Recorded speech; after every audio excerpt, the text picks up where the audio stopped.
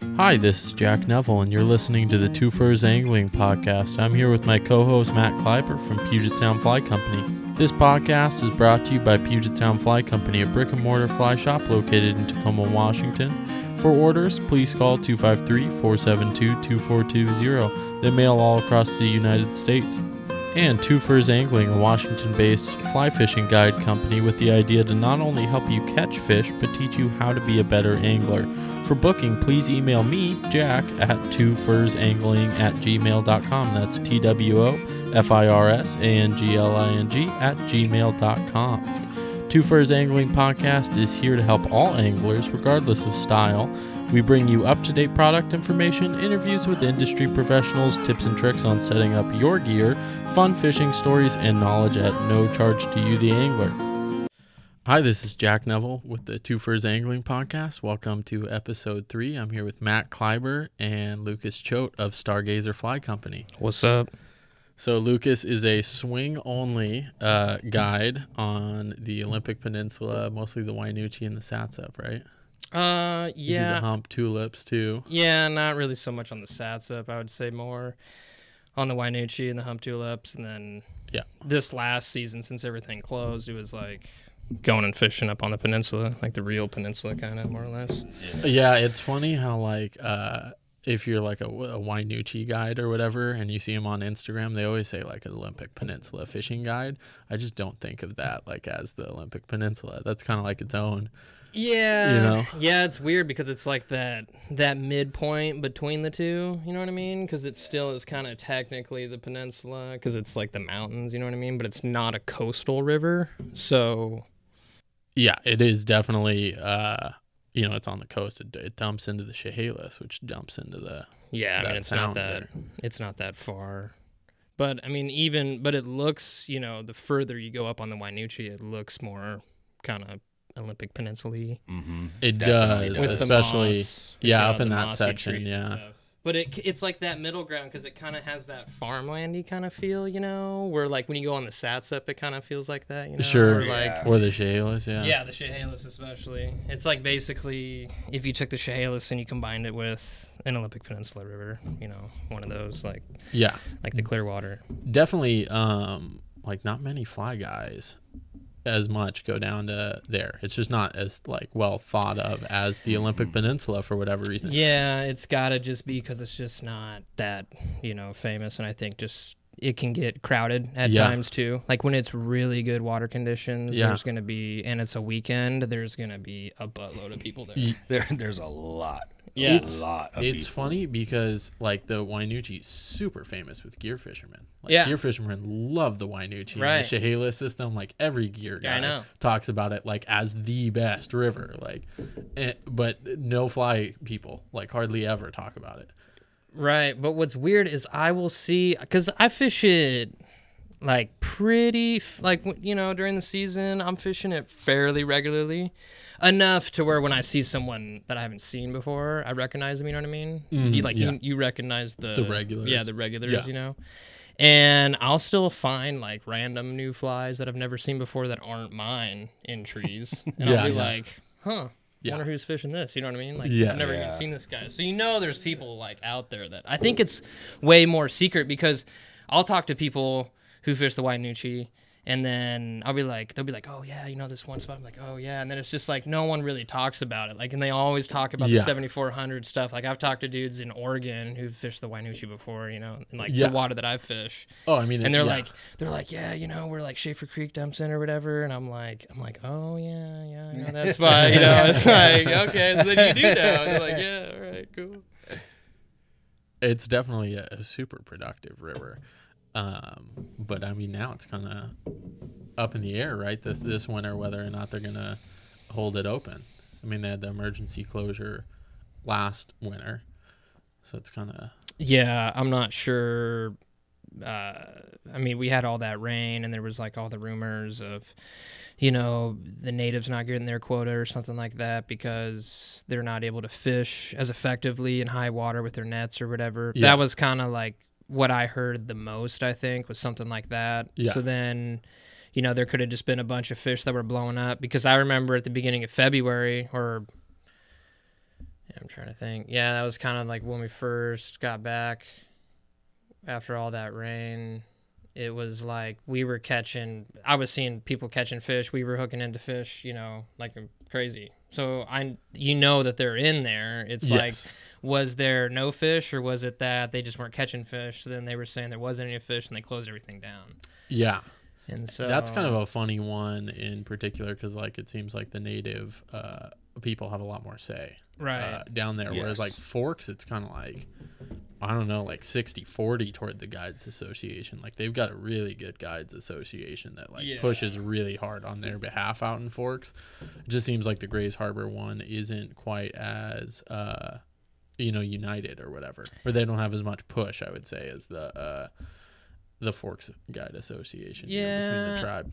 and I think it's because it there's kind of more of a what do you call it? Like more of a uh, like fishing is more known kind of in Forks. I feel like in that Oh, yeah. area than Gray's Harbor. you know what I Yes, mean? Yeah. completely agree with that. For sure. You know, I mean, there's like I know guides and people who fish in forks, or I have clients even who have Mhm. fished in forks their whole lives, and then it's like they're going with me on the Wynoochee, and it's their first time they've even like heard of the place, or they've heard of it a little bit, but they've never even been there, or like even the Humptulips. You know what I'm saying? Like, It's super funny how many people are like, ah, all I do is go to the Hoh or whatever. You know what I mean? The Hoh seems to be the most popular one that guys Yeah. are like, oh yeah, I just go to the Hoh. That's all I do, like regardless of the conditions or Right. anything. And you're like, what? There's like, you know, there's so many rivers that you could go to, even closer. But I mean, like even out in Forks, uh, it's crazy how people just like hold on to one river no matter what and just only fish that. right? Yeah. But you're definitely getting it out there a little bit. The Wynoochee. Yep. You're one of the only fly fishing guides on it, right? Um, I mean that I know, you know, regularly. Like I don't Yeah. think there's anybody else that I know. I mean, you got like the other, you know, the guides that kind of cover the whole, you know, peninsula or whatever. Yeah. Yeah. Um, or the whole coast, you know, that kind of travel around. Yes. But I mean, other than that, I don't know of anybody else really as much that I do Yeah.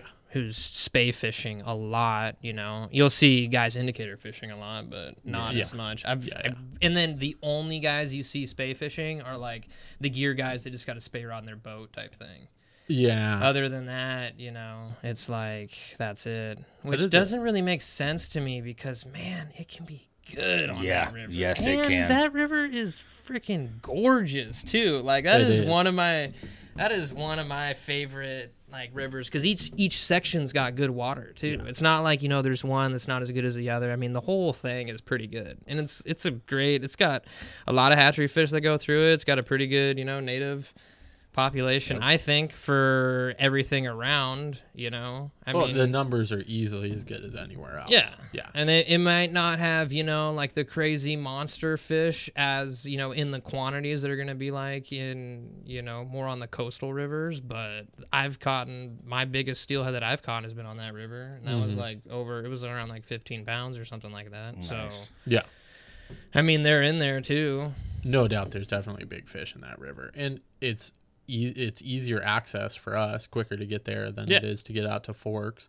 It's killer water, like you said. It's good whether or not you're swinging or if you're nymphing. It's still a great river. Like, it's just a, a killer. Uh, I mean, place to go, especially like you were talking about up in that upper section. It definitely like it doesn't feel like you're in near Aberdeen or anything. No. like it's not the farmlands. You're like way out into the Yeah. forest. forest. Yeah, yeah. It's uh, it, it's nice. It's pretty dense through there too. So you know, a lot of cover and Yeah. Well, I mean, like over probably like half of that float, right, is all that green diamond, uh, you know, forest. Yeah, right? Rainier or whichever one. Yeah.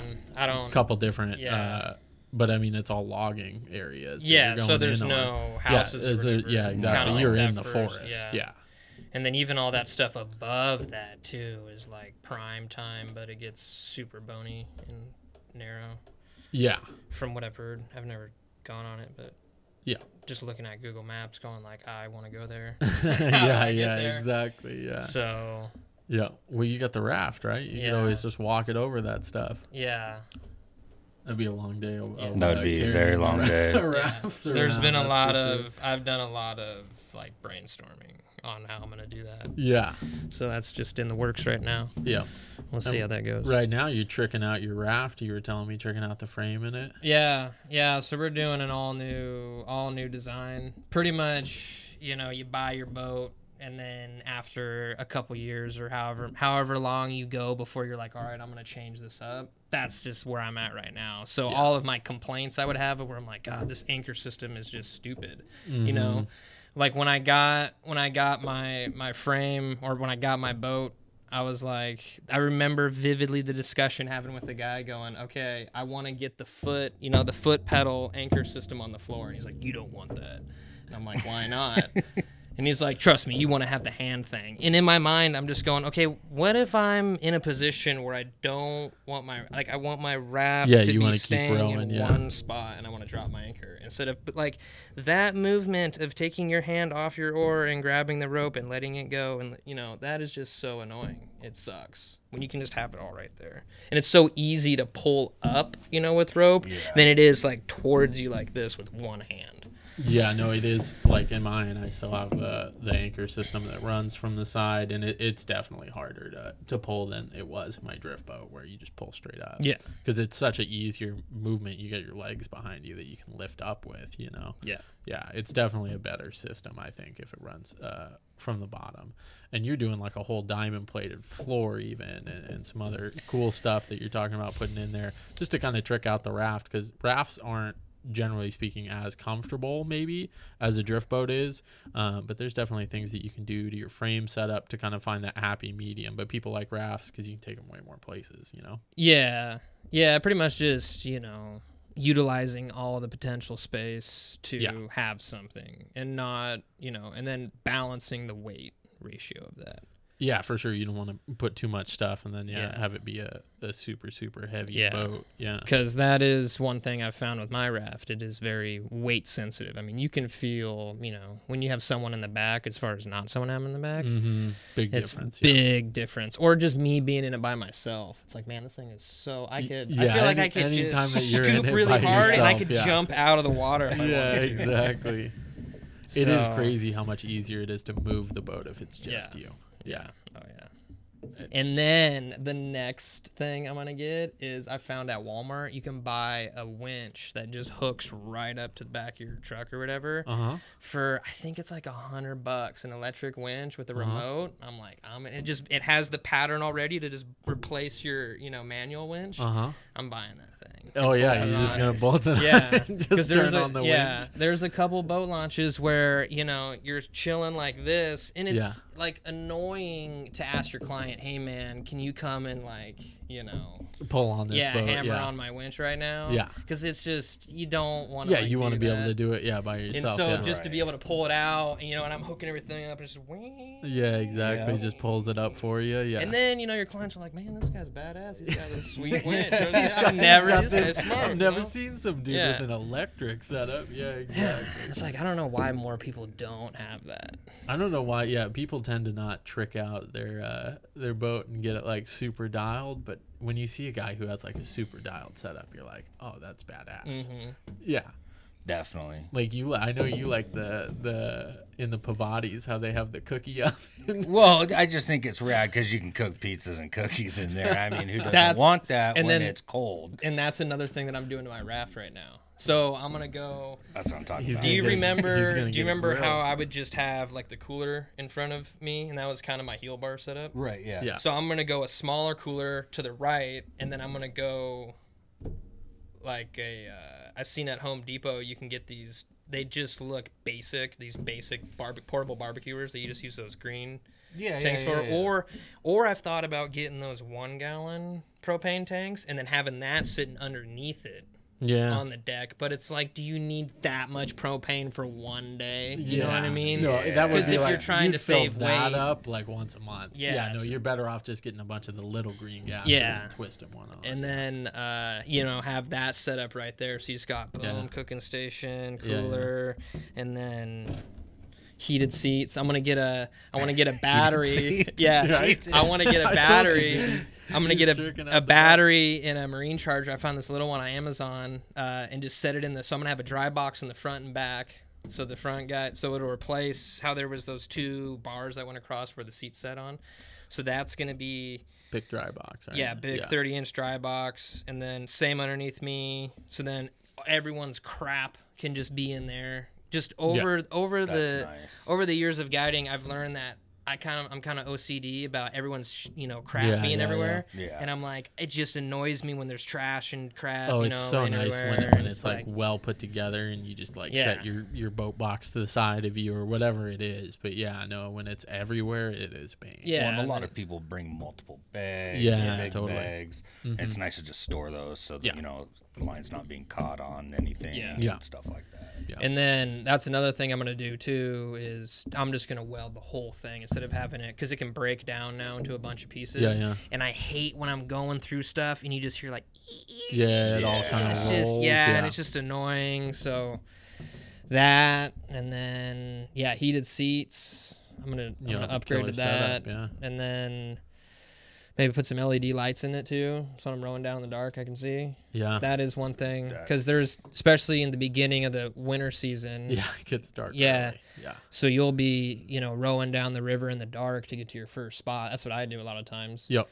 And then it's nice to, because I always forget my headlamp, to just have lights right there on your boat. So you just Yeah, flick a switch and exactly, boom, the whole thing lights up, and I can just be sitting in my heated seat, you know, tying Yeah, on a leader or exactly. something like that. Or when Yeah. you're waiting for the light, you got you know you got your lights going. You mm-hmm. can get all rigged up. You chilling in your heated. You got seat. you got the barbecue out. right there, Yeah, percolating, you know, and getting some shit going. Yeah.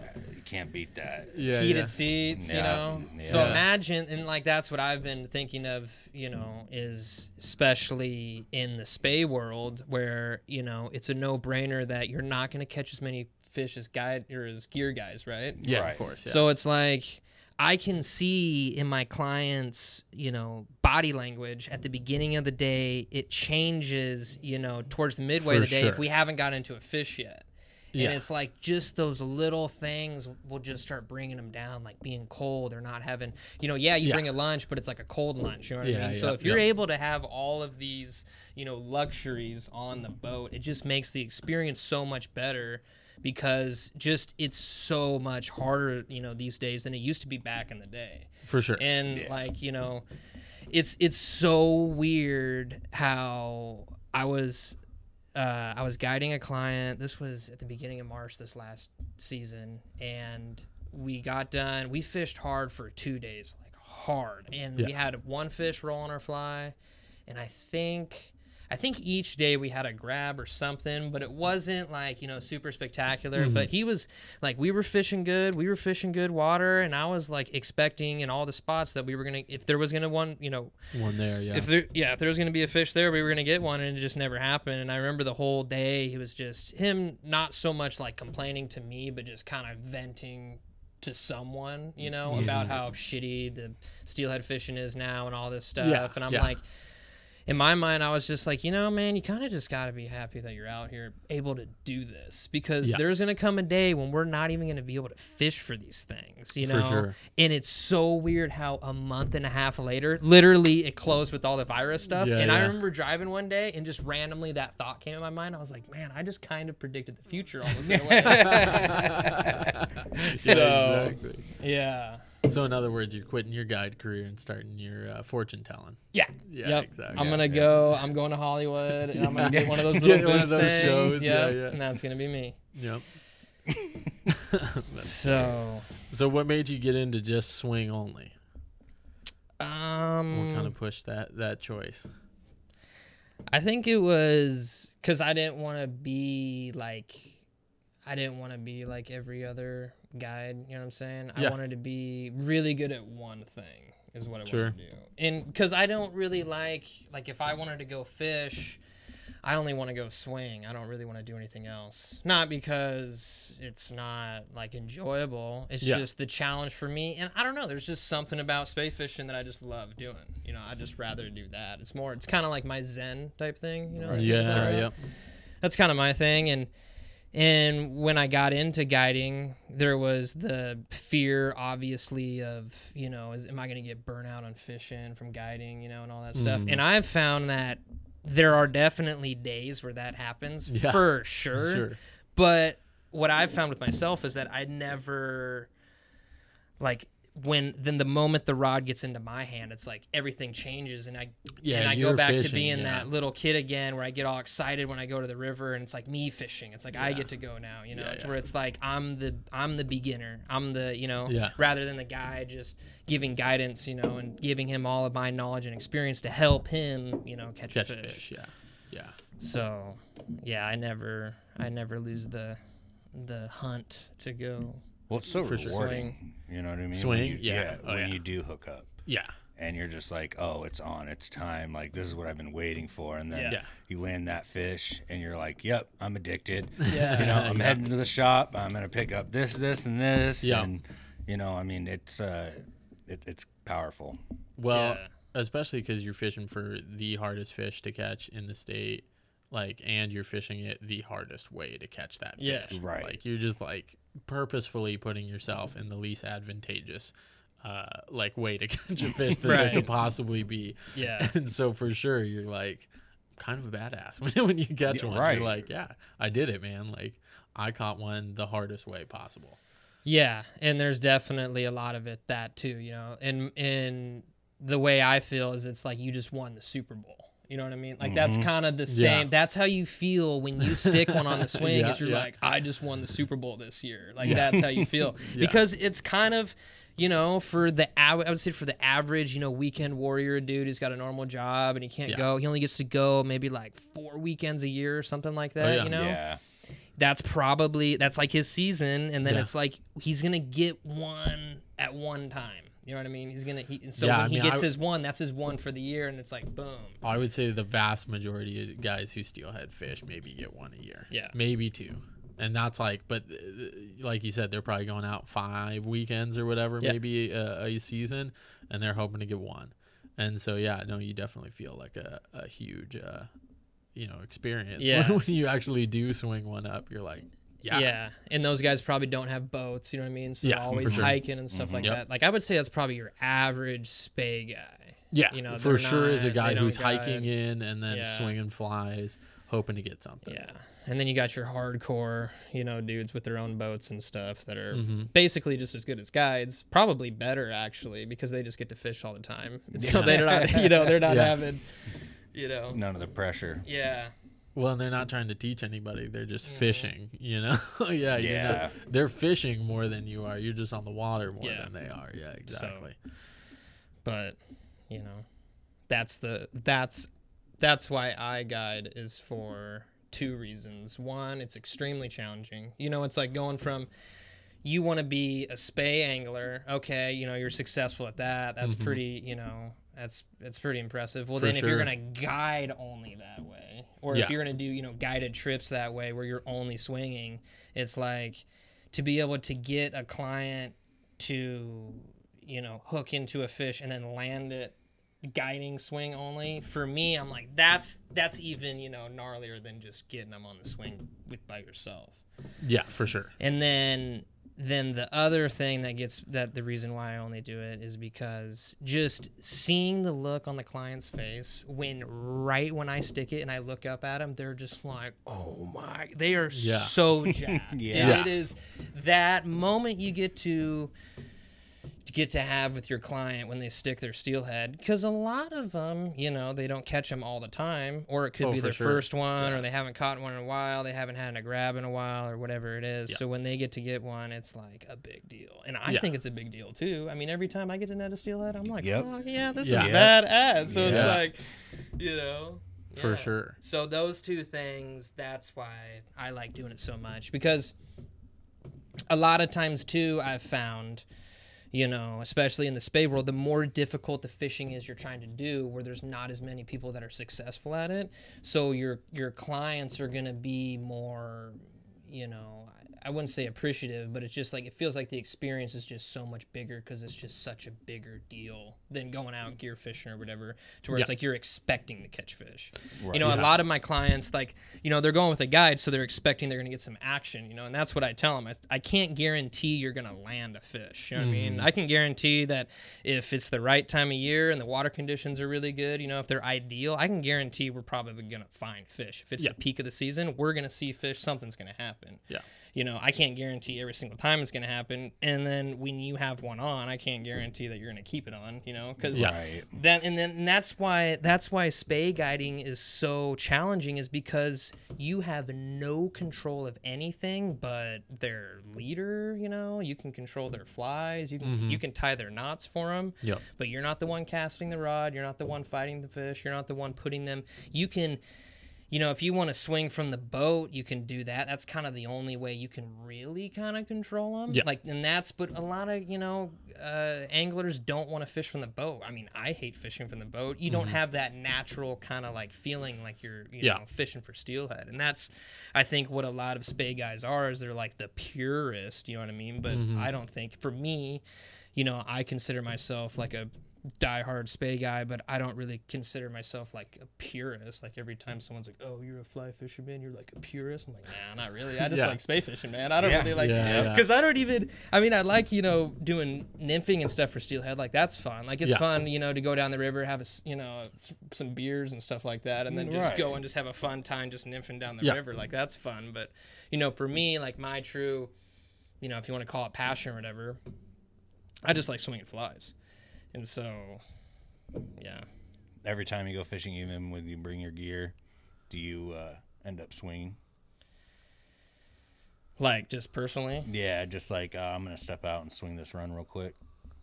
I would say, you know, because I don't have, not all my friends spey fish. So if I'm rowing, you know, they're always gear fishing. The only time, the only time I'll gear fish is if I'm trying to, you know, research water. Mm-hmm. Like if I'm gonna go l- n- learn a new river, like a new section of a river, I'll just get all my buddies who got gear rods and I'll just pile them all in my boat and just be like, all right, let's just go dredge this whole river and see where we can find fish. Mm-hmm. You know, I mean, after a while, you get pretty good at knowing where fish should be. You know, but then there's gonna be always those rando spots where you're like, wow, that's weird. I would never expect a fish to be there. And then you kind of think about it more and you think about, you know, how many river, how many river miles are up the river, what kind of structure was below, you know, what's downriver, what's upriver. You think about those things and you go, yeah, I guess, I guess I could see fish holding up here. Mm-hmm. That would make sense why they'd be here, you know, or like, you know, water levels and stuff like that. There's all that stuff that plays into where steelhead are going to be. Right, right. So, definitely people who nymph, uh, you know, like guides and stuff who nymph, uh, definitely pretty frequently, uh, at least when I've talked to them, have said like, yeah, for sure, nymphing is like swinging's cool. That's the fun way to catch them and stuff. But nymphing's also important, at least to their business, because again, like it, like you said, it kind of tells them where the fish are. yeah. And then you've got kind of a pretty good idea where the fish are at in the system and where they're holding and stuff. And you can learn that stuff over time just swinging flies, but it's going to take you a lot longer. So long. Yeah. I did For that sure. for about a year when I first started, like, cause I never I gear fished for mm-hmm. steelhead when I first started for about a year and a half or so, and then I went straight into swinging, and then I only swung f- for probably a year and a half, maybe two years before I started guiding. Mm-hmm. Just swinging. I never touched a gear rod. All my friends Yeah. would go out. We'd go out, you know, fishing. They'd all have gear rods. I'd never like, even Yeah. if I couldn't, like, we'd be in a spot where it's like impossible for me to swing, but I'd be out there trying to do it. You know Yeah, yeah, exactly. Yeah. And then and then I'd catch fish, you know, and then I'd try to learn rivers and stuff, but it would take so long. And I was Yeah. so hard headed. I'm like, I'm never I'm only gonna spey fish. And then yeah, yeah. and then you just kinda go like, you know what? I mean I could find out instantly right now if there's a fish right there. Yeah. So yeah, exactly. Yep. it's like, all right, I guess I'll do that and then you know, you kind of balance the, Yeah, the definitely. two, I guess. That's kind of like your research, you know, is when you're doing the gear fishing, and then you know it's it's test time when it's when it's swinging flies. Yeah, in Alaska, when we'd go silver fishing, we'd have a spinning rod with a Mm-hmm. spinner, this giant chartreuse spinner, and we'd call it the fish finder because there'd be a you'd be fishing a river like the size of the Cowlitz, and it's that murky, or Yeah. it'd be like the Toutle kind of, you know, it's like Yeah. that murky color. Mm-hmm. And you'd be sitting in a spot and like, yeah, there should be silvers right here. You know, it makes sense. Throw that thing out there. Yep, they're in there. Yep. All right, fish finder. yeah, got 'em. exactly. That's So- definitely wa- a good way to do it. So when did you start fishing in general? You started out gear fishing, you were saying, right? Yeah, so I think just like a lot of people, you know, when you're little, if your mm-hmm. dad kind of brought Yeah. you into it, we growing up, we we did a lot more ocean fishing, I would say, and like the Columbia and stuff like that. I never really fished small rivers Yeah. growing up. So when I was 17 or so was the first time I really started getting into river fishing. Sure. And then yeah, my one of my baseball teammates' younger brother was like one day at a like after a football game or something like that was seeing if I wanted to go steelhead fishing the next day and I was like, "Hell yeah, let's go." So then we went and then the whole day was out on the Skookum Skookumchuck and I was like, "This is so cool. I want to do this all the time." And then that wasn't even with spay fishing. So got pretty pretty hooked onto that and then and then uh, graduated high school started working on wind turbines traveling around the country. And my best friend who lives in wyoming would send me pictures of him fly fishing for trout and stuff like that. And i was Yeah. like man that's so badass. I'm gonna start fly fishing. So i went to walmart bought the cheapest combo setup you can get. Yep. And it had a foam, you know, a black foam handle. Like it was so cheap. It was yeah, the court or not Cortland, but it was some, you know, the Yeah, yeah. Super Walmart cheap. brand or Yeah. whatever it is. Yeah. And so went out, just taught myself how to cast. My first fish I caught on a fly was a smallmouth bass. Um, there was a million. I was in where was I in? I was in Illinois and there was this river where there was so many carp, these massive carp, and I'm out there with my little five weight fly rod, and I'm like, I want to hook into one of these things so bad. I don't know how to get them to eat my fly. I'm like, I'm drifting it over them. I'm, I got these massive poppers that I'm like trying to use as dry flies. I have Yeah, no yeah. idea what I'm Yep. doing. It's like, I'm like just, and I can see them, you know, sipping on, you know, something at the top of the water, but I didn't have anything small enough. So Yeah. And I would I'd throw a rock at them and they would just take off and they, you could tell that they had some shoulders on them and I'm like Yeah, I'm yeah. pretty sure they would snap my five weight right in half Yeah. Yep. whatever so yeah so I would just fly fish as I would travel around the country uh, working on wind turbines and then one time I think uh, like I don't know maybe like six months or a year or so into my fly fishing career I was like people got a steelhead like fly fish for steelhead that's got to be a thing because I didn't know anybody you Yeah, know? yeah. no one taught me anything I was just kind of like getting into this all on my own so I just went on YouTube typed in fly fishing for steelhead and then literally the first video i see is a dude with a spey rod like it's snowing you know what i mean it looks gnarly and he's like out there making a cast and then you just see him just come tight and they're showing the flies and these mondo chrome fish and i'm like i want to do that Yeah. That's exactly. Yeah. Yeah. that is exactly what i want to do that looks like the most badass thing ever and like it looks like it sucks so bad but it's like i it's like when you do it though it's like that's a big deal it's like anybody who does you know like ma- like mountain climbing or anything Yeah. or rock climbing you know like or you know dirt bike racing or anything like action sports skateboarding being you know anything like where you're kind of risking your life even though we go out steelhead fishing we're not really risking our lives no. but Yeah. you know, it sucks waking up at three o'clock in the morning if you have to. It sucks being out there when it's Yeah. super cold. I don't Yeah. like doing that at all. That's why No. I'm getting heated seats in my boat. Like, yeah. Exactly. you know, so it is almost exactly like mountain climbing where like if you just looked at like climbing up the mountain you'd be like that sounds awful. It's super cold. It's like crazy hard. Like why would you want to do that? Your shoes are so Yeah. uncomfortable. and the and the guy's like well no i just want to get to the top. And you're like you're an idiot. Like Yeah. why would you put yourself through that just to get to the top everybody says the same thing when you explain winter steelheading you're like yeah no it's like 34 and pouring down rain and yeah i'm gonna go camp out there and then i'm gonna go wake up at like 4.30 in the morning to get ready and get get in the water and launch the boat in the dark and Yep, that's what I'm gonna do with my day, and maybe I'll catch a fish. Like maybe if I'm if I really nail it, I'll catch a fish today Mhm. And everyone would be like you're an idiot like that Yeah. sounds like the worst day ever for maybe a fish like Yeah. that's awful and you're like no it's the most fun like you just don't understand you just have to be super into suffering i guess Yeah, I mean, being out there, but you know the reward.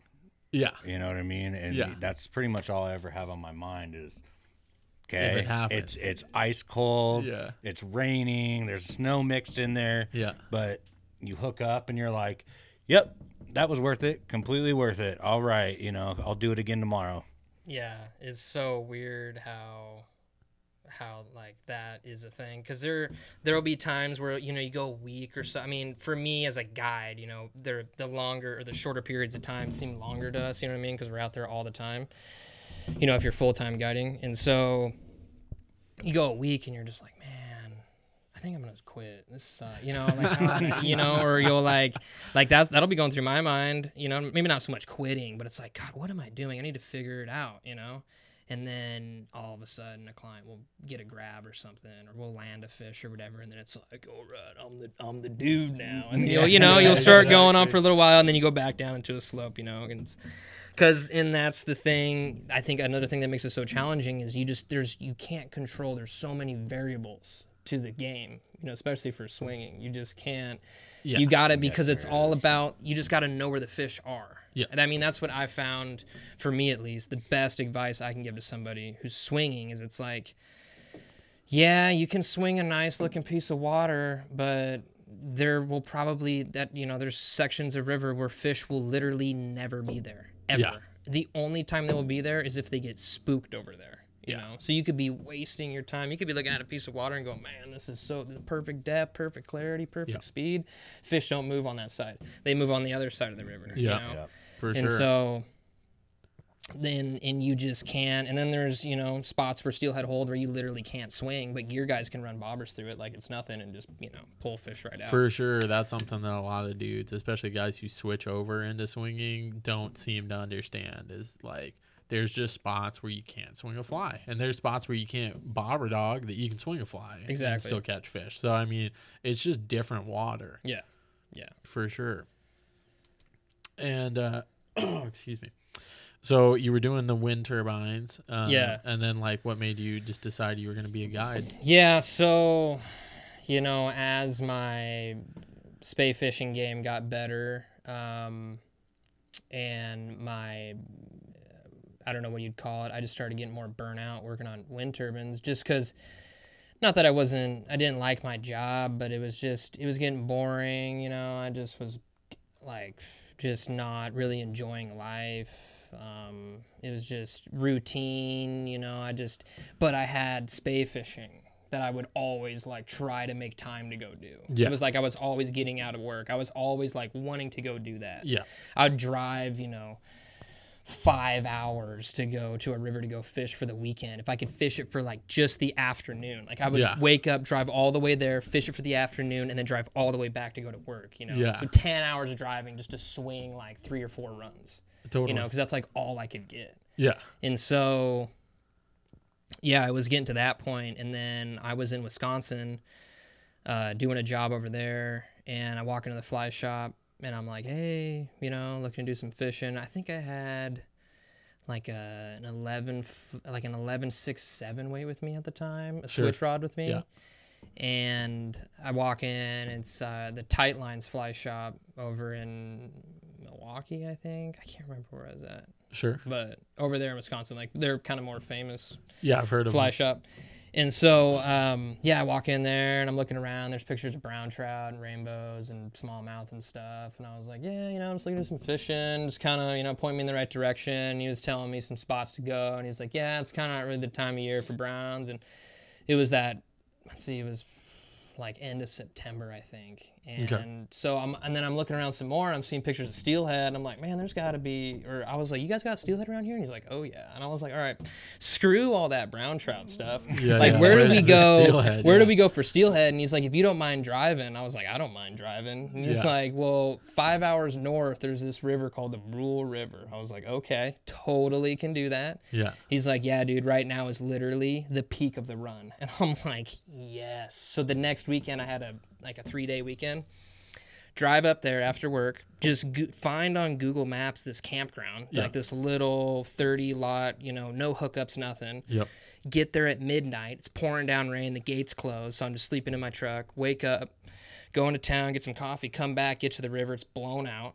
So I'm like, shit. All Yeah. right. Well, um, it's it's not. It's just brown. It's you Yeah. can tell it's not blown out, but it's not Yeah, a very yeah. big river. It's Yeah. like I would say it's double. I would say it's double the Skookumchuck in spots, um, Okay. but that kind of smaller size river, kind of like the Upper Satsop. Oh, okay.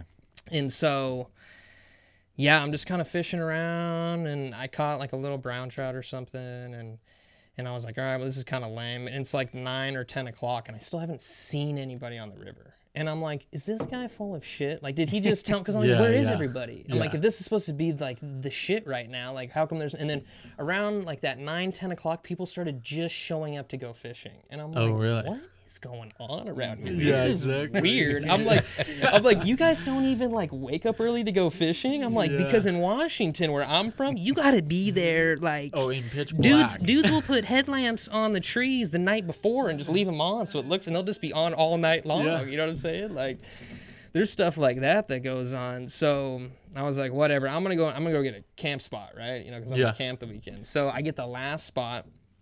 I'm driving through the campground, and everyone in there is fishing. Everyone's fly fishing. I'm like, hell yeah! I'm gonna go into town. I'm gonna get a jug of whiskey. I'm gonna come back, and I'm gonna make friends with these people Yeah. and figure out where I gotta go to get these steelhead. So go into town, get some whiskey, come back, park, become friends with my neighbor, convince him to trade casting lessons for like steelhead spots. And so we were just gonna go fishing the next day. We go out, get to our first run, pretty nice run. You could tell that like there's definitely the chance of steelhead being in here. Um, don't get anything. Uh, come to find out that there's a spey clave going on on a cabin on the river, like down the road from where we're at at noon. And so he's like, "Hey man, we should go swing this run by the spey clave, and then we'll go to the spey clave." And I was like, "All right, cool." So we go swing this run. I hook into two steelhead, and they were probably in that 28 like to 32 range, like not like crazy big, but like good sized fish. Yeah, for sure. and or maybe not 32 like 26 to 28 what was i thinking? Mm-hmm. And they were some of the most hardest fighting fish i've ever gotten into. I remember i'm sitting in this run and i was swinging this inside bend on a river right kind of weird scenario log jam setup. And i'm looking around my, my line's coming across. I'm like god this thing is swinging so good right now. I'm like Yeah. there's a fish there. They're so gonna boom. It just crushes it. Yeah. ripping line fish comes jumping out of the water. I'm like screaming. I'm having such a good time. And so then that fish gets off right at the bank. And then uh, i think third cast later hook into another one. I don't know if it's the same fish or not or whatever. It it ate it at this basically the same spot. So there's probably just more than one and then go to the spey clave everyone there is just learning how to like skagit cast which mm-hmm. was strange to me because i was like wait a minute you guys don't know how to do this stuff like this isn't new technology this is you know been going on yeah, over since the 90s. yeah. Yeah. And so yeah, everyone was super into it. And then that's where I kind of realized like I realized like, oh, I'm actually like kind of decent at this stuff, I guess. Mm-hmm. Compared to all you people. Like Yeah. because they were talking to me and it was the first time where I was like, whoa, like I'm around people that like are kind of like you know crazy about this stuff like I am too. And it was fun to communicate with people like how we're doing kind of now about fishing and stuff. Yeah. And like spey fishing especially. For sure. Which is what I really liked doing. Yeah. And so in that moment, I was like, whoa, I went from kind of that mindset of, you know, working on wind turbines and going to work hungover every day and just like going to the bar after work to like, damn, I like want to like kind of give a shit now about life. Yeah. And like, I want to, so I was like, after that event, I was like, man, I really want to consider changing career paths and just going from understanding that like yeah i may not be rich you know or whatever have a bunch of money but at least i'm gonna be like happy. You know what i'm saying? Because up to that point i was like i just feel i just felt like i was just burnt out and i just wanted something new. And so then i was like eh screw it. I'm just gonna go for it and see what happens and i told myself i was like if i'm gonna do it i'm gonna strive you know to be the best and i'm, Yeah. I'm gonna be realistic at the same time you know i'm like especially these days you know with steelhead not being as good as you know it used to be back in the day Yeah. I was like, I was like, I'll give it, you know, five, five, six, seven years, and if it's just not working out, then I'll be like, all right, you know, I tried, but I didn't want to be, you know, 50 years old or whatever, and have a nice, you know, house and family and all that stuff, which is good, you know, if that's what you want. But I didn't want to be in that position and be sitting there and going like, man, I wish I would have tried guiding when I didn't mm-hmm. have like any. It was the perfect time for me to do it. You know what Yeah. I'm saying? Because you don't have any responsibility. Yeah. it don't Exactly. I was like, I want to try it and see if I can do it, you know. And then if not, like, all right, well at least I tried, because I don't want to like, you know, regret that one day. Yeah. That's pretty much everybody in the fly fishing industry is kind of accepted that they pretty much hate life at a normal job and they're like, okay, I guess I'm going to go do fly Yeah. fishing then. Like I'll be poor, but at least I won't hate being alive.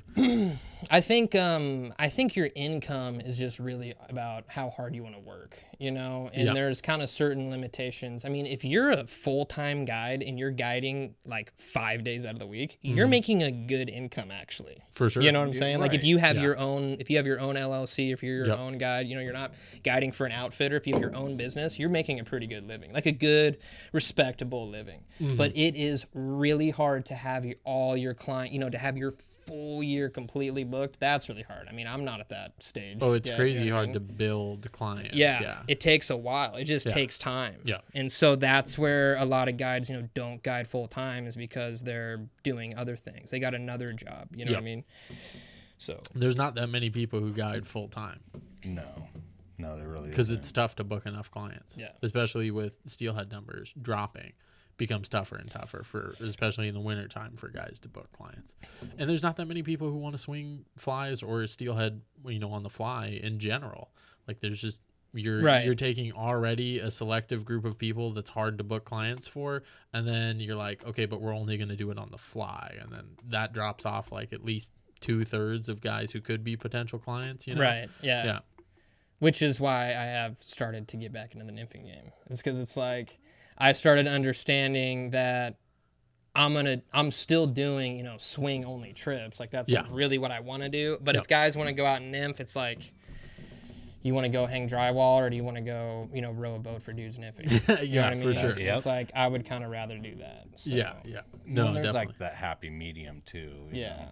yeah doing like a half half day yeah for sure which is kind of what i uh, like that's my favorite to do because Oh, i I- feel like yeah. i'm i am fishing the most effective way that i can by swinging you know like the in my opinion the best gravel bars on the river and then in like deep slots nymphing through those Yeah, I would say, yeah. If you want to have like the full kind of experience of fly fishing for steelhead, that's Yeah. definitely the way to go. But if you wanted to like get the highest possibility of catching one, it would definitely be nymphing only.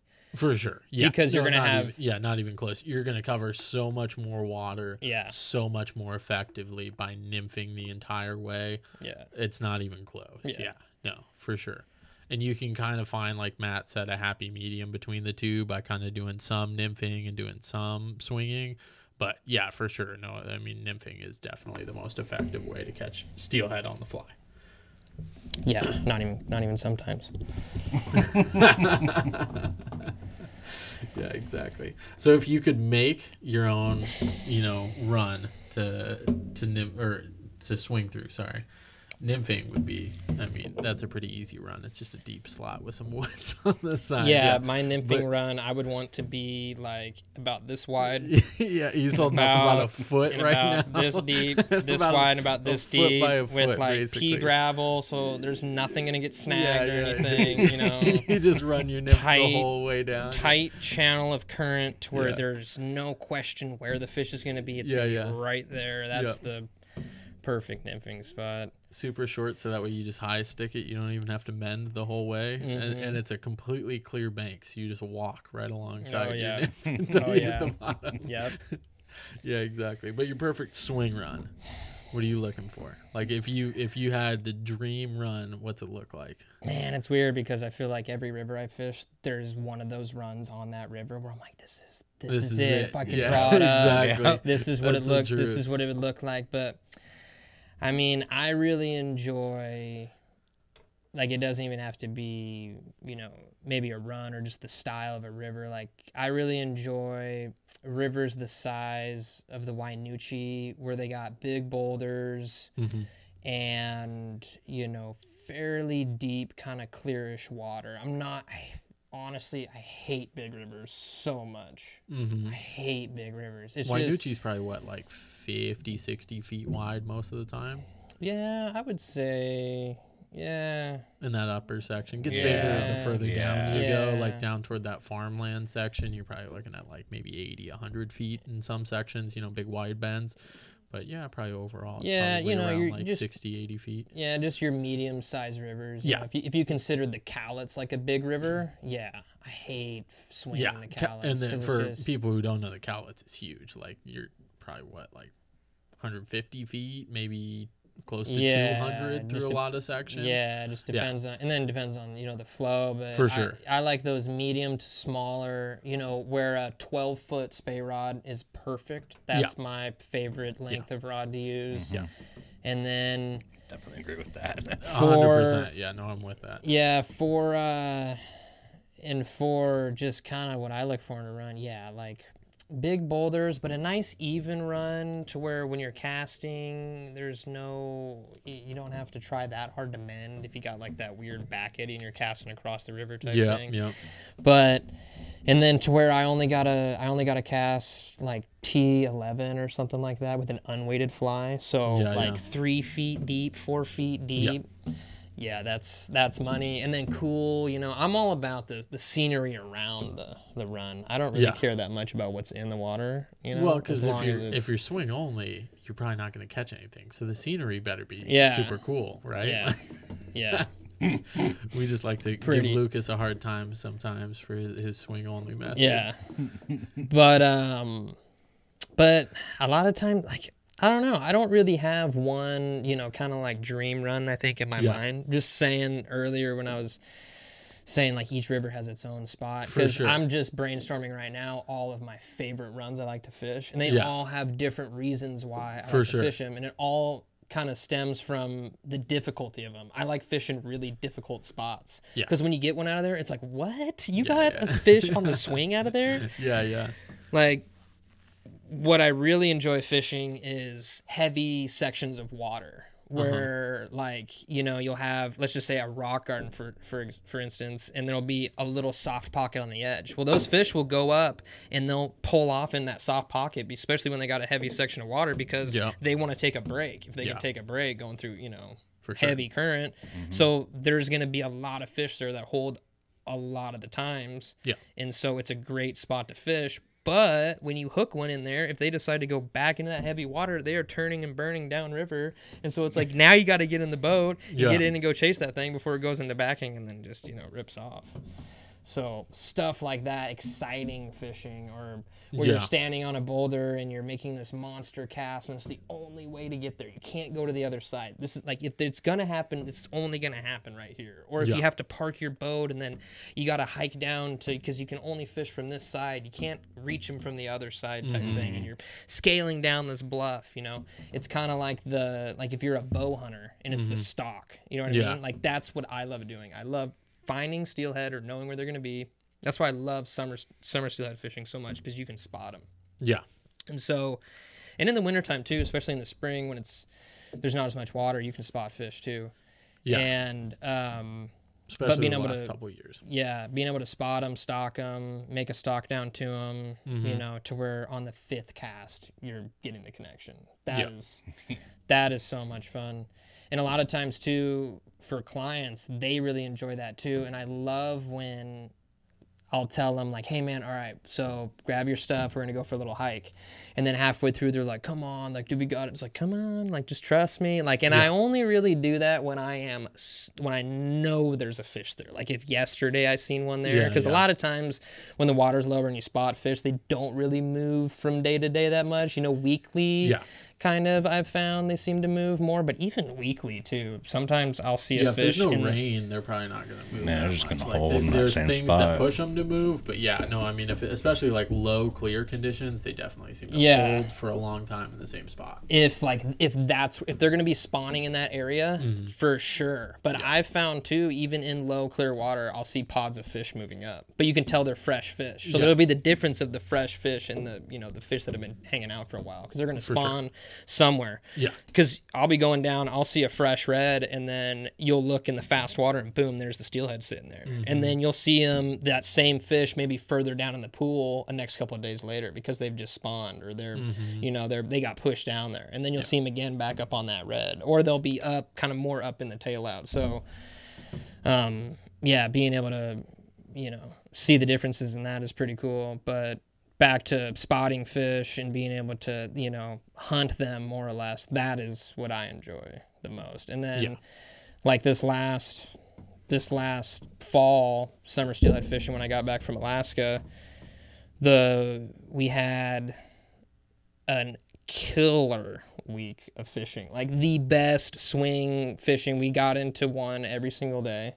Um, one day we got three before noon. Like it was just, it was just insane. And my client at the time, I, I was telling him when I netted that third fish at like 11:30, I was like, this don't he was a first time client don't get used to this. This is Yeah, not yeah, like yeah, normal. like, and this was his first this, day fishing with me. Yeah. and so he was going to go for three days and i was like don't get used to this and then i've gone with him i don't know like five times after that and we've touched fish but it wasn't like that first time and we oh, always Oh, yeah. go back to that first day of just like that was so killer That's But like so- a once in a lifetime at best. yeah. thing, Yeah. Especially here in Washington is the thing. Yeah. And so, but I really equate that to we were the only people on the river. Yeah. And you could tell no one's been fishing it. It was low water. Mm-hmm. Fish, those summer steelhead, they like to hang in that little faster water, you know. So they were super easy to swing to. It was just really, it was the perfect, ideal conditions to have a great day like that.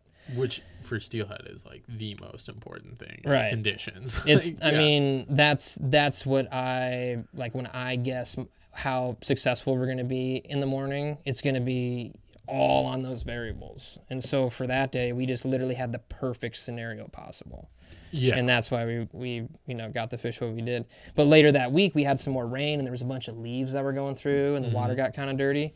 And so I was having a client swing through this spot, and literally two days ago, we hooked into two fish, I think, landed one and had two or three other fish come on, jump, you know, who Yeah. knows, it could have been the same fish, whatever. But I mean, we've had, we were having that action. So when I was standing up on the bank, you couldn't see anything in this tail out. And I was like, I know there's fish here. And I know there's one. I can vaguely see this rock. And that was where these fish were hanging around this rock. I'm like, I know there's got to be. I think I can see one barely from the bank. And so my client is swinging through, and the water was up. And he was getting to the point where it was starting to get a little deeper. And he's like, I don't know if I want to go any further down. I was like, You just need to go down like 10 more feet. Just trust me. Just mm-hmm. go down like 10 yeah, more feet. And so he goes down a little bit further, and it was like, it was cool because he was at his limit, right? Yeah. You could tell that he didn't want to go any further. Yeah. He could, but he if he was fishing by himself, he would have stopped right there, Yeah. right? Yeah. He literally stepped down one more time, made the same exact cast, and it was probably a difference of five to six feet, not very Mm-hmm. far, or maybe even less than that, maybe only like four feet. He might have Yeah. only stepped down four feet. And then I'm watching his line come across. I'm like, get ready, get ready, get ready. And it went right in front of that rock. And then you just hear him go, there he is, there he is. And I see his rod man. And I was yeah. like, yeah, that was awesome. Like literally play by play nailed it with Yeah. blind, you know, not even seeing the fish. Yeah, totally. And so, yeah, he was super pumped. Nice, beautiful native summer run fish. That's one thing too about those those summer runs on the Wynoochee. I mean, a lot of them are just perfect. They're not very big, but you know the natives, you know, they kind of are in that medium range, but they are just perfect, just beautiful. I love them. hmm Steelhead are like just such an amazing fish to look at. Like you could just look at pictures of steelhead and be like, "That's pretty awesome." Yeah. Yeah. So definitely, when you get one to hand, you're like, "This is unreal." Like this fish went through so much to get here. Like now I'm holding it. That's awesome Yeah. for sure. So, what are you running for gear now? You're mostly doing like Skagit heads, 12 foot rods. Yeah. So, um, let's see. It really all depends on. Yeah, I would say 12 foot, 12, 13 Mm-hmm. In that range. My rods, spey rods I got right now are actually 13 sixes. I got those for rental, you know, client rods. Yeah, It's a totally. good, it's a good length with a six, 600 grain head Sure. just a Rio Skagit Max. It's a good setup for beginner people because mm-hmm. that's what I anticipate when someone's using this rod is they probably Yeah. never spey casted exactly. before yeah, in their life. There's someone who who doesn't own their own. Yeah, stuff. so I've found with like a longer, a longer kind of stiffer rod with a shorter, heavier head, it's easier to get it to go out and just cast the Skagit head. Because if you can just cast the Skagit head, you can fish a lot of places yeah, I mean, where fish are going to be. Because I think there's a difference. You know, you don't have to cast very far to catch steelhead because a lot of times where the steelhead are going to be holding, you can just walk up to them or you can get close enough Yeah. to them to where you don't have to make a far cast. If Yeah. you got a boat, you know, or if you can hike to them, you know, if you can get to that side of the river. Yeah. The only time you really need to cast far is if you can't get closer to the fish. And so it's good to be a, you know, a distance caster, or be able to, you know, cast far, but you know, it's not crucial to your fish success to be able to cast far. Definitely not. People you know, get way too caught up in, Yeah. in distance casting and spey casting, in particular, and they're fishing like clear to the other side of the river, and they're not mending, and it's just a Yeah. terrible swing, and you're like, that's pointless. Like, yeah, what you're doing right now is never going to catch you fish. If you did like a 60 foot cast, you'd probably catch fish, you Yeah. know? And instead, you're trying to bomb out these 100 foot casts and your head's not turning over, and yeah, Yeah. you just get a piled up mess out there. yeah, and that's why I hate fishing big rivers is because a lot of the times you have to make a far cast is because you're just fishing a big river. So it's mm-hmm. like you know where the fish are going to be holding is going to be in the same spot that they would be holding in the smaller river. It's just they're closer to you now. Mm-hmm. So the bigger the river gets it's like man i hate stripping in a thousand times and then making this cast and then it's you know that's where the, the environmental conditions come into play when you're trying to make a long cast because if there's a little bit of wind or anything and then you got all your running line hanging down Yeah. and it gets knotted up all the time it's like Yeah. no matter what brand of shooting line or running line you use it always gets knotted up Yeah. and you know and then depending on your fly what kind of fly you're using like how does it is it spinning when it's in the water? Because if it's spinning then your line's going to be spinning. So then Oh, it gets yeah, tangled yeah, up for sure. even more and then Oh, it's yeah. like i remember when i was first learning how to spey cast and i was teaching myself Uh-huh. you'd be on the river for a couple hours and then by like after a couple hours i just want to snap my rod in half because i can't cast right it's Yeah. like Yep. i'm i love the idea of spey fishing but i can't cast i'm hitting Yeah. myself in the head with my flies and stuff it's like this sucks Yep. so much Yep. and then now my fly is spinning because i'm tying these you know stupid looking flies that don't work or whatever like i look back I don't know, four or five years ago, the stuff I was tying, and I'm like, what was I thinking when I first Yeah. yeah, I'm trying to think of when I first really started tying. I remember on Facebook around I think it's around June time, I get I'll get a a, uh, a memory of the first fly I ever tied Uh-huh. when I got my first fly rod. Yeah. Yeah. And it was this man, I'm trying to think of a fly that it kind of would resemble kind of like a like a Royal Wulff Okay. stimulator Sure. type looking thing. Like that's kind of what it looks like, but I wasn't trying to mimic it. I was Yeah. just like I just went I think at Walmart or Cabela's and I just bought one of the little kits and it just came with materials and I was like, "Oh yeah, I'm going to go catch a smallmouth with this." Never worked. My stuff would lay Yeah, on its yeah. side. Yeah. I'd be using super glue and it just sink like, you know, I didn't know what I was doing.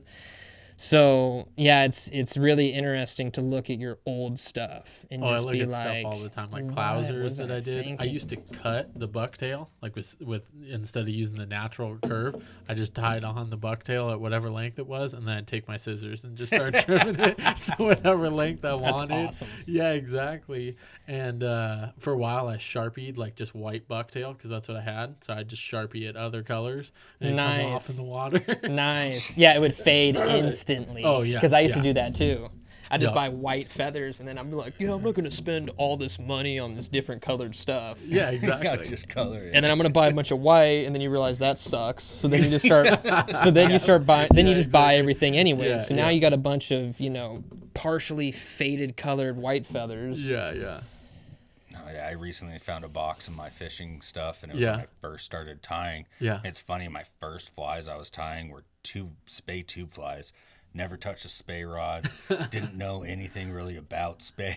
But everybody else that I was tying with, that's what they were tying. So that's Yeah, what I yeah. learned. I found this box, and I mean, it just is, is wads of marabou. And Yeah, like, yeah. You know, and hackle all over in weird spots, and doesn't look right. And you're like, what was I doing? Yeah, exactly. Why Yeah. did, why did I think this was a good idea? That's the funniest part is like when you tied them at that time. Like I can vividly remember like tying one and being like, "Oh, this one's this one's perfect. This is it. this Yeah. looks Yeah. like the flies that you Mm. buy. Like this Mm. is amazing." Mm, And now I'll look back at it and I'm like, "Dude, I used like uh stimulator hackle or something on this size 20 hook. Like the hackle's eight times too large I for it. know. my dubbing's falling off and i got like a, a thread head the size of a lasso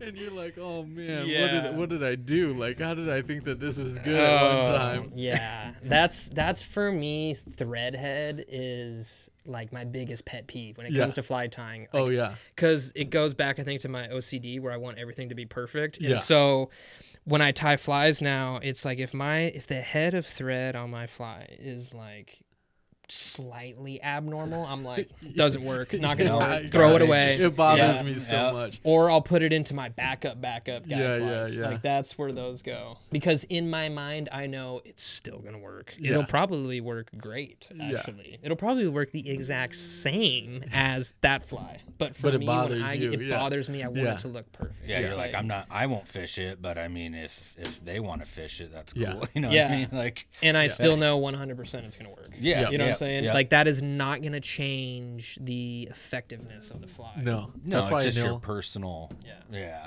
Anil got me super into cones when I first started tying for the and it, it- the only reason was he was like, "Oh, it'll cover all your thread head. you don't have to worry about it." That's And so for such a long time, That's everything that I tied was cone heads. That is so you could have a giant thread head, but it all just slide underneath Right, the cone. right. Yep.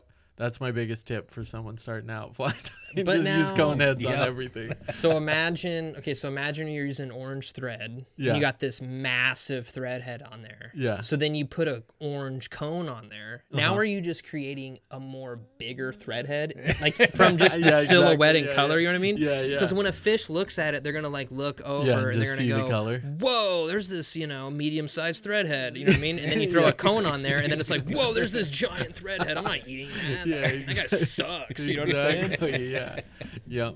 It's like, what if, like, what if steelhead, like, okay, so you know how humans, like guys especially, like, you know, you look at girls or women and you're like, oh yeah, she's got nice boobs, right? She's got a nice butt. What Yeah. if steelhead had that same kind of thought process when they look at flies? You know what I'm saying? Like, dude, the you? proportions are all wrong Dude, on that you, one. No way. Yeah, did you that, see the yeah. thread head on that one over there, man? Damn, dude. Like, you know what I'm saying? I'm gonna go hit that, right? I'm gonna go. Like, it's gotta be like, what if that's it? And I think as spey anglers, we think that, but it is Yeah. not even like a thing. You know what Oh, I mean? spey guys get Yeah. so into. I think because you have so much time where you're tying flies and you're just sitting there swinging flies, like not hooking anything. You've got way too much time on your hands, and you're like, well, what if I did this and this and this to the fly? I bet I'd be catching one right now. And then you go home and tie a bunch of them. But spey guys do like. They're the only people I know that would tie like a 40 minute fly when a rabbit leech probably works just as good as like those crazy intruders, if not Yeah. better. And all the spey dudes want to tie like just insanely difficult. Like, yep, this one took me an hour and a half when I spun all these loops and did this crazy stuff. And you're like, dude, I think Marabou would create the exact same profile. And they're like, no, I, I grabbed 18 materials and spun them all into this loop. took me at least 30 minutes to make the loop itself, you know? Yeah, yeah. It's that's, and what sucks. It's almost like being a, your what do you call it? You're you're kind of brainwashed when you first start. Yeah. yeah. For Yeah, sure. Because you're You- like you these guys who the are super into it are throwing these like just casting 80 miles with their line and they're throwing these gigantic flies. That's what I got to Yep. do. These Yep. crazy flies that are super intricate. when yeah when i first started i was on the opst train hard i watched Yeah. all their videos that's what got Pretty me, much everybody. that's what started, yeah started Skagit fishing is on the OPST train. yeah so that's what got me into spey fishing was watching those and Yeah. so all of the stuff you know that's where the whole like intruder kind of Yeah, oh, phase yeah. kind of stemmed from and I mean, so that's then where the intruder thing came from for everybody. Right. Like the OPST thing comes out, rods start getting shorter, and like everybody's like, these things are so easy to cast. And then every line company comes out with a, you know, a shorter Skagit head, and everybody's doing 12 foot rods now. And it's even, you know, like it's still happening. Like guys are still buying shorter and shorter and shorter and shorter rods. And uh, and doing shorter heads too, because it's easier to cast than a you know if you'd cast like a 14 foot rod right now with like a 50 foot line, which is pretty much the standard, um, you know, in like the 90s. That's super hard to cast and it's super hard to get turnover with it especially with sink tips where it's like a 12 foot rod with an opst line pretty easy to get turnover you know for especially for a beginner. It's pretty easy to start to get turnover with your setup. Yeah, yeah, for sure. Um, yeah, so people agree. yeah i mean people dug into that and then yeah big flies for sure. I mean like everybody's tying like it's not uncommon to see like a five inch total like profile like uh intruder in a guy's box at all now We got to have it slap it in the face. That's the whole point. Yeah, it's gotta know? be And as then they're big as the "Ah, I'm steelhead gonna that you're gonna That was catch." rude. yeah, Yeah. exactly I mean, but when you think about like plugs that people use, Yeah. or Oh, if you it's think about, or if you think about spinners, Yep. you know, like think about how big a spinner is. And Yeah. Steelhead smoke those things, so Yeah. it's oh like yeah you can totally tie your flies that big. oh yeah 100% And so, which And- that's and that's another thing about steelhead fishing that is just so because as a spey angler, you get so focused on you know like what we're talking about with flies what's and everything, working. and then you just go, you know what, man? But they eat everything. So I don't even think it really matters what Yeah. your fly just looks like. It's like just pick a method and just do it perfect. And if there's a fish there, they're probably gonna eat it. Like because there's so many different ways you can catch a steelhead. So it's like I don't think there's the best way. It's just No. each way got made for certain types of water. Yeah. So each style of holding water where a steelhead's going to be, there's one perfect like method to fish for that. Mm-hmm. You know, to fish to that fish. I would say steelhead are easily as aggressive as coho. Just the numbers are so much less Right. That like yeah. I mean, if there were crazy numbers of steelhead, nobody would do anything probably other than swing flies. Like Yeah. you'd be like, it's boring. I'm catching Right. like 30 fish in a day. But it's just so hard to get the right conditions, so hard to find the fish. There's just not that many of them in the river system that it is insanely hard. Yeah. Because I've found when a steelhead is in a really swingable spot and we mm-hmm. know they're there and it hasn't been fished to for a while, you know, Yeah. and the fish is rested, it's not, you know, under any stress. And you swing a, it's in fairly clear water, like let's just say three to four feet, and you swing a mm-hmm. black and blue leech in front of it. It eats it pretty much every single time. Yeah. And so I think it's I think it's not, you know, spey fishing your your success rate is not as good not because of, you know, it's not an effective way to fish for fish, mm-hmm. just because where the fish are going to be holding for those spots to be really good for spey fishing, they just don't happen as much because that's just not really where steelhead like to live all the time. Mm-hmm. They like to live in dumb spots. Which is what I call them Yeah, for sure. Where it's great for bobbers, but it sucks if you're trying to swing because you're probably standing on this little tiny rock on this bluff and like there's this giant hole right there. Yeah. Because when it's clear, they like to be where they can't be seen. And that's Totally. when you start switching your tips, trying to get it down there. Cable. Yeah. Doing all sorts yeah, of crazy cable, stuff. yep, Yeah. Yep. But even then, I mean, I've had fish come up to eat a fly when it's, you know, probably a 15 to 20 foot hole. Yeah. and I move. know there's a bunch of fish in there. Yeah. Because things to think about is, you know, those fish don't hold right on the bottom, for starters. They're sure, not no. sitting right on the bottom. So if you got a bucket that is 15 feet deep, and you know there's fish in there, you know that they're probably in that. From what I've seen, they're usually like it all depends on water clarity. They're not going to be that deep. So maybe you know eight feet down or something like that. That's Mm-hmm. what i've seen when i've drifted over and looked at fish. They're usually in that range like just beyond Yeah. where you can really see them which is about that deep. So then if you think about okay if they're eight feet which I- which i feel like is still really deep Mm-hmm. they could even be like six feet to five feet deep. So then you got to imagine you only really need to get down like two feet at the most, but I feel like a foot could even do it too. Because if Mm-hmm. they're at five feet, you're down a foot. That's four feet. Four feet is not that hard for a fish to come up and eat something. Oh, yeah. you know what I mean. No, I mean, especially when when they get in the rivers and they kind of tend to more act like trout than they do like to act like the the salmon in the ocean. You know what I mean? Where they they tend to they want to kind of because they're they're holding in those feeding spots. They're definitely eating up and looking up. They're not like nose in the ground, like digging the bottom. Like if your fly is just dredging the bottom, you're probably not gonna hook Yeah. that many fish. Not as much as you would if you if you were like two feet, three feet off the bottom. You'd be doing much better. Which is basically, I mean, most of the time where you're swinging is like Yeah. four, five, six feet. So just like you said, a Yeah. foot to two foot down. Yeah, that's all you really got to do because a lot of times the deeper the water gets, the slower it gets. So Yeah. you don't even really have to put that much heavier stuff on.